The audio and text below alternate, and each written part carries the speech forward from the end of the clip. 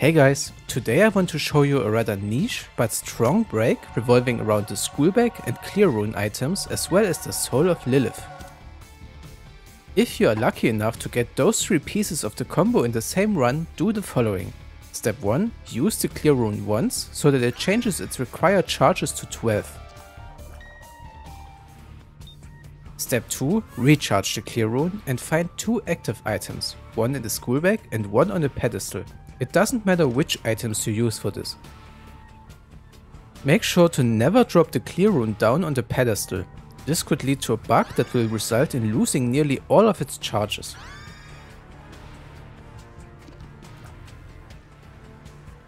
Step 3. Put the clear rune in the back of your school bag and the other item in front.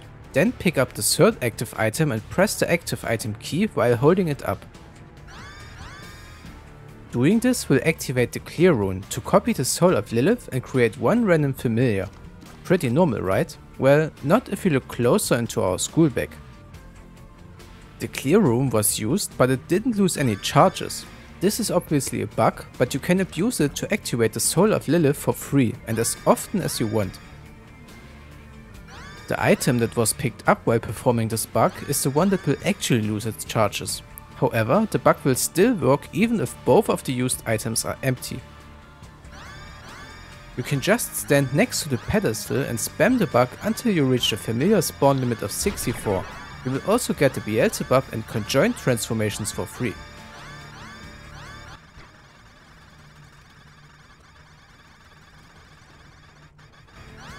I think it goes without saying that so many free items should result in a free win, even if it's just familiars. And of course, using any D4-like effects will also work on them.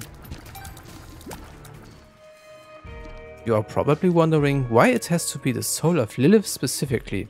Well, the truth is the bug actually only works with that one and no other usable pickups.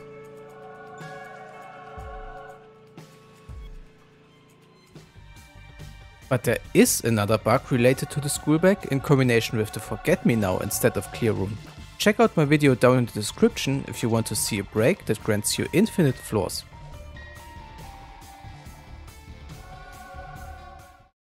He's the number one, Isaac! God's favorite son.